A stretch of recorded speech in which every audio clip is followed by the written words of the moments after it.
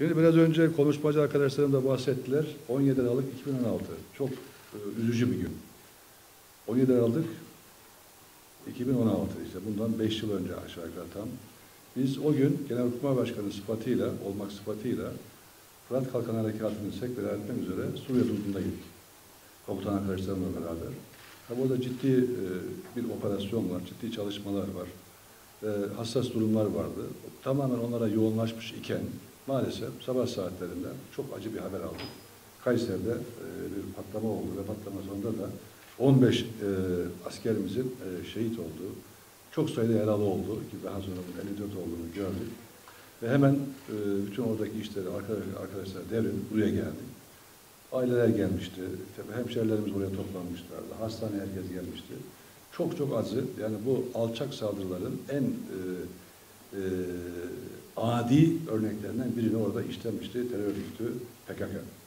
Ve bu e, bizim için e, oradaki bizim paletlerimizi hani hiçbir şekilde yavaşlatmadı. Bilakis buradaki gençlerimizin de askerlerimizin de kanını yerde bırakmamak adına yapmakta olduğumuz terörle mücadeleyi daha da artan bir şiddette, artan bir tempoda sürdürmemize bizim vesile oldu. Sonuçta e, mücadelemiz devam ediyor. Bu olayda 17 Aralık'ta burada hayatını kaybeden, bu alçak saldırı sonunda hayatını kaybedenler tabii bizim askerlerimiz, burada eğitim alan askerlerimiz ve daha sonra e, operasyona gidecek arkadaşlarımız, silah arkadaşlarımız. Fakat tabii burada bir özellik var, tek birinde silah yok. Bu terör örgütünün ne kadar alçak olduğunu anlamak için bu dahi başlı başına bir örnek. Tek silah olmayan, silahsız insanlara karşı, silahsız gençlere karşı maalesef bu alçak saldırıyı gerçekleştirdiler ve orada 15 gencimizi haince e, katlettiler, şehit ettiler. Arkadaşlar burada e, tabii ki dünya gelişiyor, Türkiye gelişiyor, her şey değişiyor. Tabii bunların hepsinin başında temel bazı faktörler var. Bunlardan biri de ulaşım. Ulaşımla alakalı Ulaştırma Bakanımız gördüğünüz gibi gece gündüz Türkiye'nin her yerinde, bütün coğrafyamızda yoğun bir çalışma içindeler. Bunlardan da tabii bizim Kayserimize tereddüt eden, düşen olaylar vardır. Hayatımızın daha konforlu, daha rahat olması için bu çalışmaların çok önemli olduğunu hepimiz biliyoruz.